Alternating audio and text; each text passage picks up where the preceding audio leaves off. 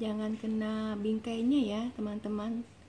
Nanti nggak mengkilat kita fokuskan hilangin tulisannya aja ya. Jagain framenya bingkainya dengan tangan satu lagi. Supaya nggak kena aseton.